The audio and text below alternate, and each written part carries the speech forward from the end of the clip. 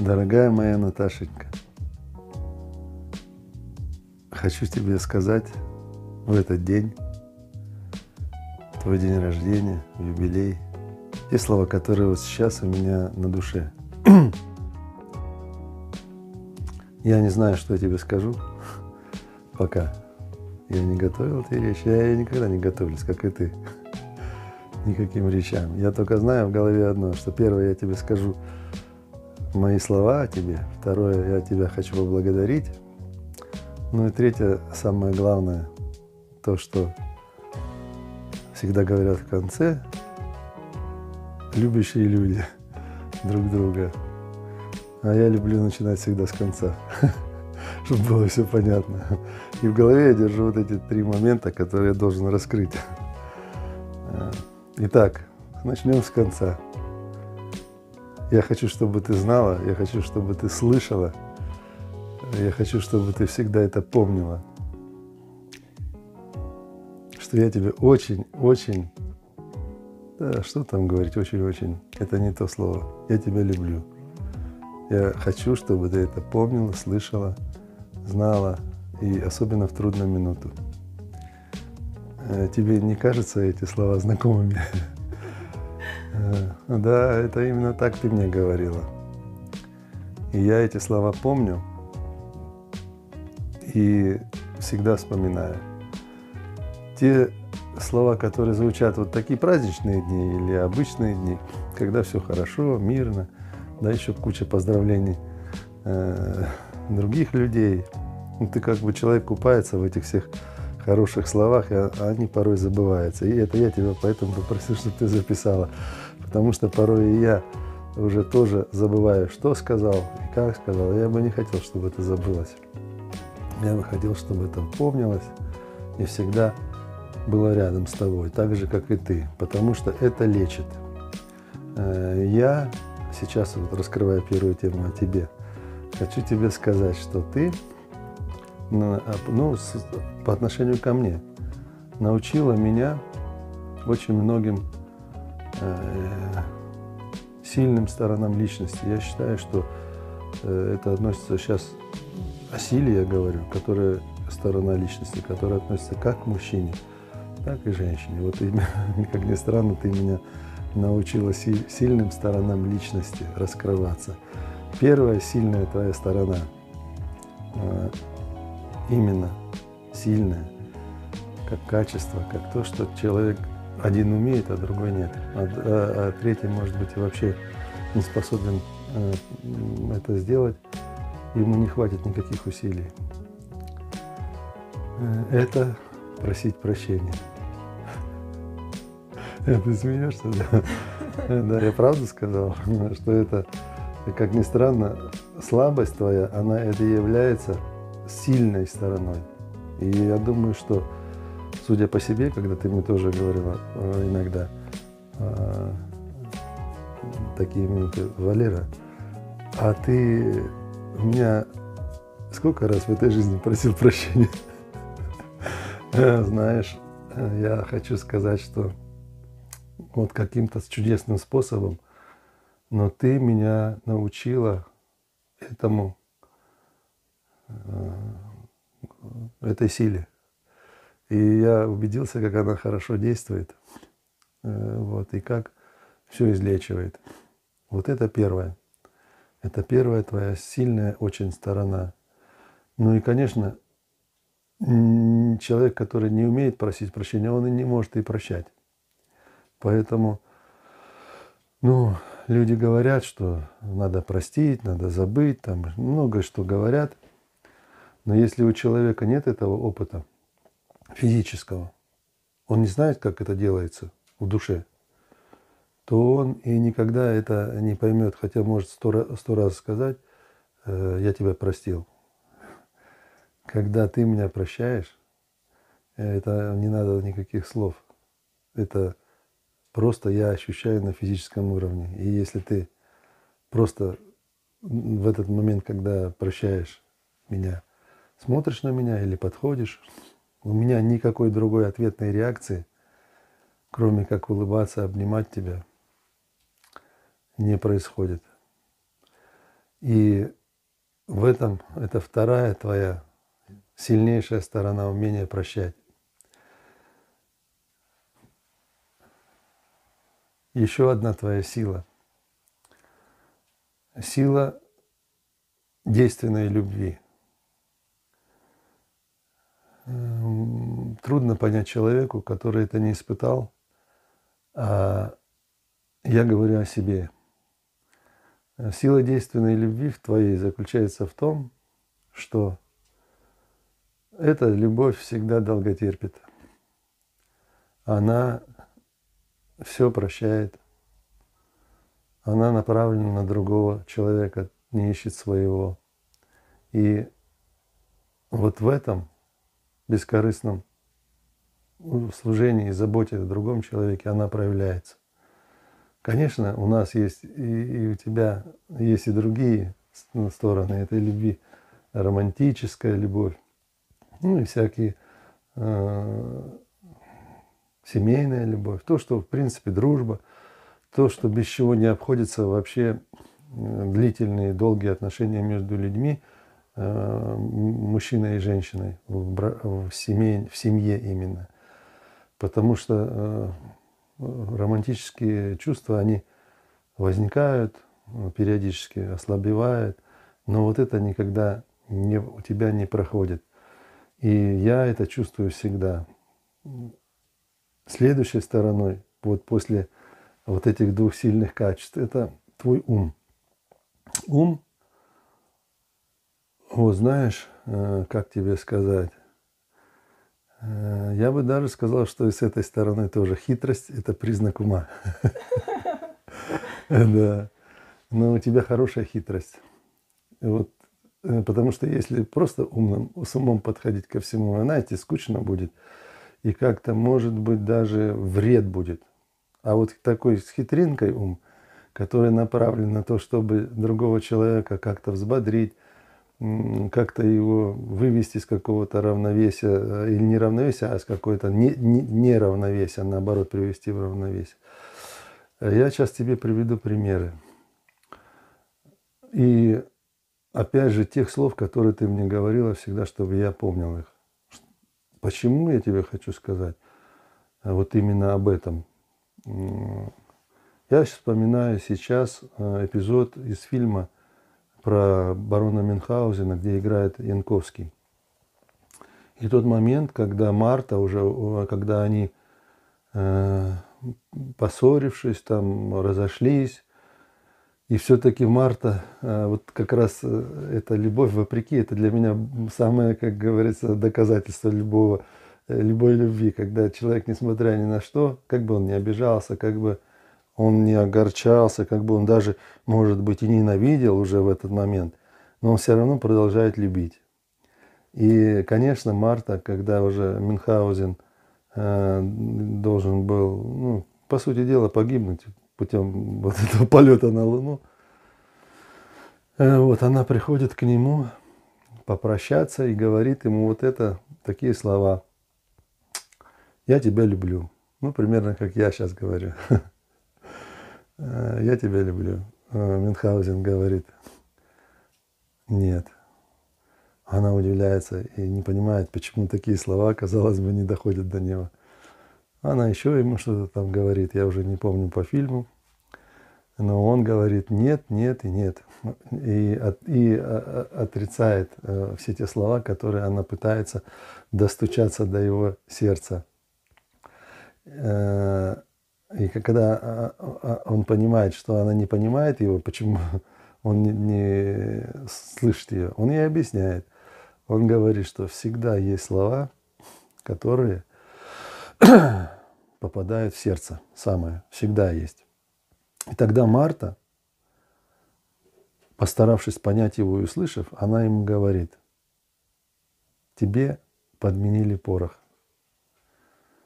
То есть она дает ему понять, что его хотят унизить и хотят э, разоблачить путем того, чтобы он не смог вообще э, полететь никуда. И что ничего не произойдет из того, что он э, обещал людям. но тем самым она обрекает его на смерть, потому что в этом случае точно ему этот порох положит, и э, этот выстрел произойдет, как он задумал. Ну и все остальное с вытекающим последствием. Он погибнет. И она, когда это ему говорит, э, Мюнхгаузен говорит ей, да, всегда есть спасибо тебе. Ты сказала именно то, что он ждал. Э, она его поддержала в том, что ему было в этот момент самое, ну, самое трудное вот в этой жизни, был момент истины. Поверят им люди. Ну, конечно, это же сказка, мы понимаем, но у каждого человека в этой жизни бывает именно так. Когда момент истины наступает, и вот здесь нужна поддержка. Или она приходит, любимого человека, или нет. Вот Марта ему нашла эти слова и помогла. Теперь к тебе.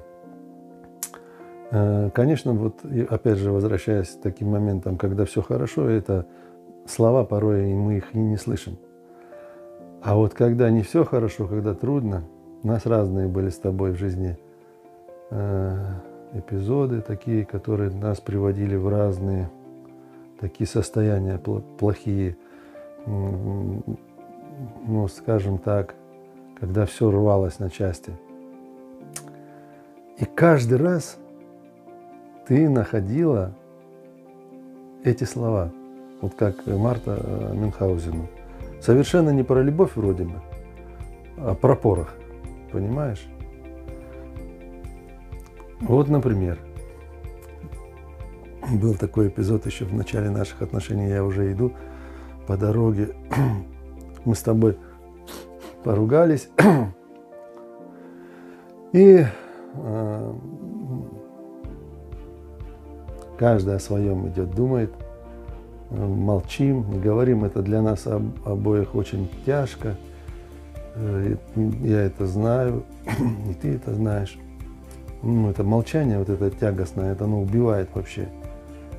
Э, и ты вдруг ни с того ни с сего говоришь мне, Валера, твоя жена не дура. А вот это к тому, что Мона умная женщина. Я тебя все прекрасно поняла, что ты мне сказал. Ты не думаешь, что я не услышала, не поняла ничего. Я все прекрасно поняла. И дальше ты мне говоришь то, что ты поняла. Я не, это не стоит повторять. Все прекрасно. Смысл такой, что вот такие слова, они меня привели, вот которые дали мне понять, что ты меня все прекрасно поняла прекрасно услышала, прекрасно сделала выводы. А обобщать и делать вывод – это вообще твой конек. И говоришь мне, и для меня это было как вот камень какой-то, который упал с шеи, и все, я всплыл. И я обрадовался, что я понят, ты услышала, и все поняли, и все хорошо. А бывали моменты, когда это не связано было с тобой, а связано было с другими ситуациями моей жизни. И ты говорила – другие слова. Говорила вот это, с чего я начал. Валера, помни, что я тебя очень-очень люблю. Я хочу быть всегда с тобой. Ты всегда это, пожалуйста, помни и никогда не забывай. Когда бы мы не поругались или что-то еще тебе тяжело в жизни, ты всегда это помни. И эти слова в тот момент для меня были опять как вот этот, который вдруг из э, поднимает э, крылья человека в небо, и он удивляется, как же человек может летать, а вот умеет он летать благодаря вот этой такой поддержке близкого человека, любимого. Потом, совсем недавно,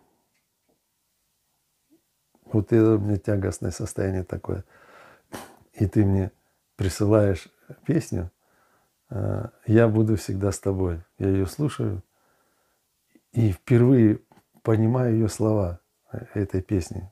Сколько раз я ее слышал в исполнении Анжелики Варум. Но никогда я это, эти слова не понимал. А вот э, услышав их, я понял. Дайте я поцелую, моя хорошенькая. Я уже могу тут на этой маме. Да. На тебе розочку держи, вот это вот твоя розочка будет. Спасибо. Да. Розочку.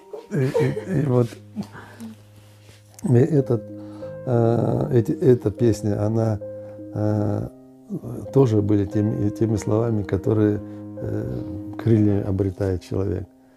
Вот теперь это самые главные твои качества, которые касаются нашего корабля, нашей семьи, наших отношений и нашей э, любви взаимной. Вот она держится на том, что мы друг друга понимаем, то, что мы заботимся друг о друге, то, что э, и, и я тебе повторяю те же слова, которые ты мне говоришь. И в жизни у нас с тобой это получается.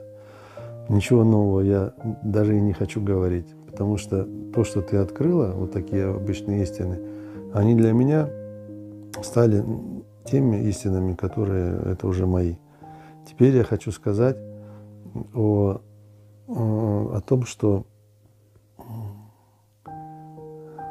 в нашей семье, конечно, это э, дети твои, это Степа и Тимофей, э, которые,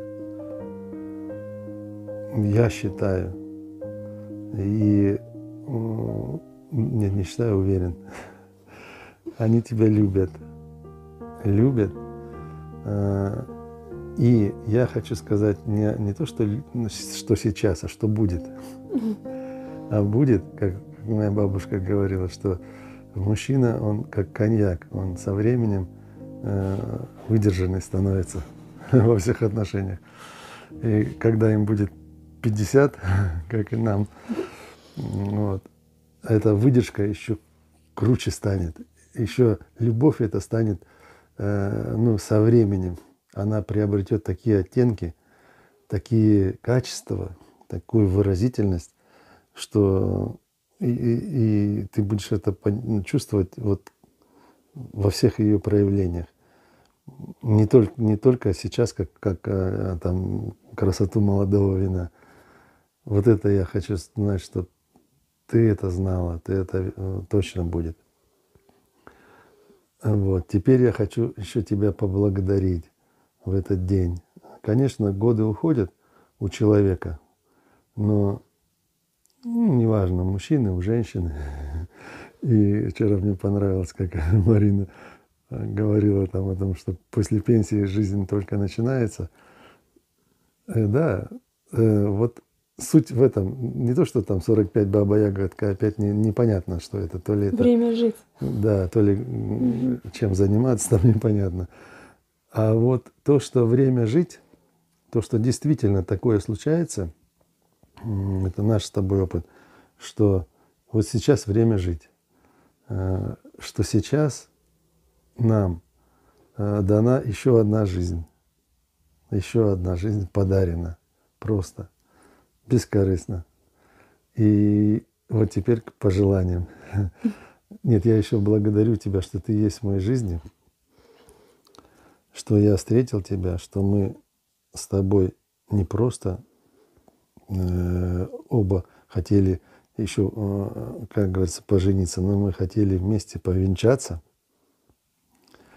и быть и во всех жизнях. Уже почти рыдаю. Во всех жизнях быть, быть вместе.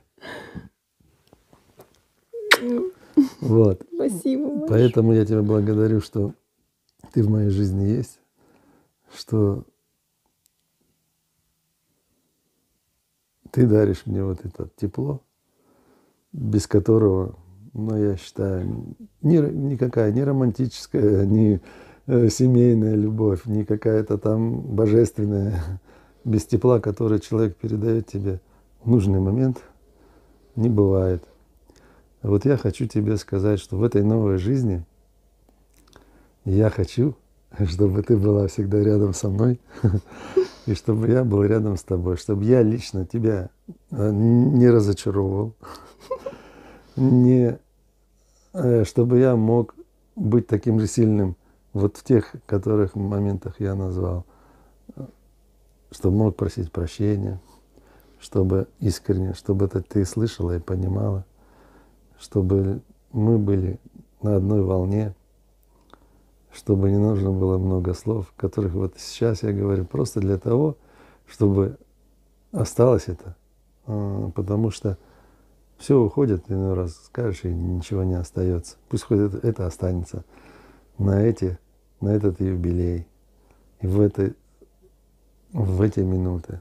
Поэтому вперед в новую нашу жизнь, вот с тем, с той любовью, которая у нас есть. Целую тебя М, и поздравляю. Спасибо большое за Хорошенькая. твои слова, за твою любовь и за все, что ты мне сказала. Мне очень важно знать, вот все, что ты сказала, мне очень важно знать, что ты все это видишь, знаешь, ценишь, понимаешь, подмечаешь и готов. Да, Вот, и готов. и готов. Да. Да, Спасибо тебе, любимый. давай, хорошенько. Пусть останется в нашем семейном архиве. Точно.